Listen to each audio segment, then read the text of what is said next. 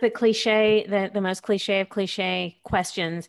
Do you have a favorite Spandau Ballet song to to listen to and or to play? Um, it you know, it's weird because we had we went through so many different things. I really love to cut long story short, but you know, because I just think that's a great kind of punky type new wave sounding yeah. record and and it was it was us our most naive and it was and it was it, it, it's not overproduced in any way. We weren't thinking about it. It came from the heart. It came from the street. It came from the club.